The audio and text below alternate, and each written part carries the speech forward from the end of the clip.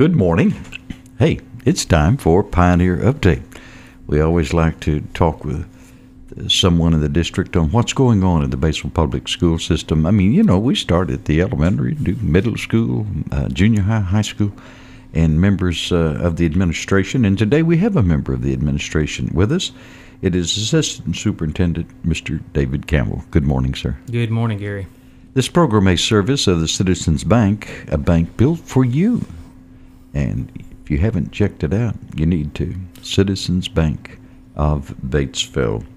Well, Pioneer footballers got a big win uh, on Friday night. But I want to talk about COVID. you bet. You said, no, please Yeah. don't. Unfortunately, Uh, we have to. But hey, the good news is that across the district, our positive cases are down, Mm-hmm. and I think that's a trend that many districts are seeing. Uh, Yes. Independence County still is having some flare-ups, but uh, district-wide, we are just extremely low uh, with positive cases right Mm-hmm. now, and that is very encouraging. Oh yeah, when you look at the numbers like that, uh, but still, yet you're working hard to to control. Oh, you bet. And so, you know, we've hosted various uh, vaccination clinics uh, last year and this year, and so uh, giving students opportunities, those that meet the age requirements, and of course our uh, employees. We've partnered with Bryant's Pharmacy, so a Mm-hmm. big shout out to Bryant's. And uh, just on a positive note, 82% of our uh, employees are vaccinated. Oh, so that's, that's good very percentage. Yeah, it sure is.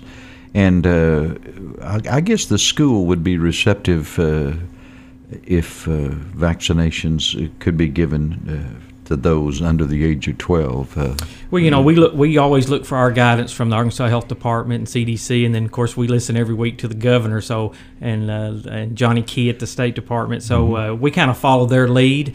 But anything that can provide a healthy environment for our students, you know, we're we're up for that. We're still practicing those three W's of wear your mask, wash your hands, and watch your watch your distance. And I think really schools are probably one of the safest places people can go during this COVID environment because every day we're taking measures to sanitize our environments. and that's really neat.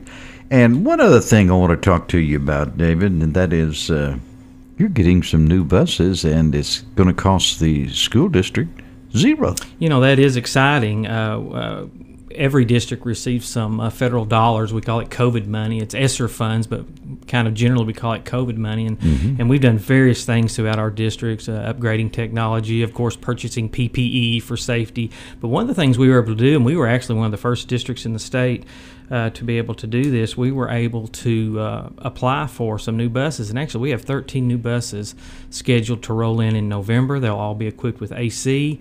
And so, what that means is every student in our district will be transported in a safe, uh, bus with air conditioning. What that do that that improves air quality and that helps us fight COVID. And so that's just uh, that's just something we're trying to do to be more efficient and provide safe transportation for the students in our district.